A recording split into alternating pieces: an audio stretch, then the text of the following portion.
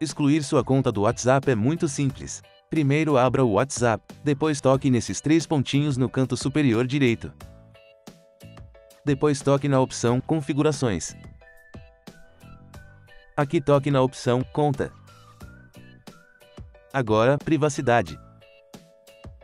No final das opções, informe o número do WhatsApp que você quer apagar. Depois toque no botão Apagar minha conta. Aqui selecione qualquer um dos motivos e novamente toque no botão Apagar minha conta. Este será o último aviso. Se realmente deseja apagar sua conta, toque no botão Apagar minha conta.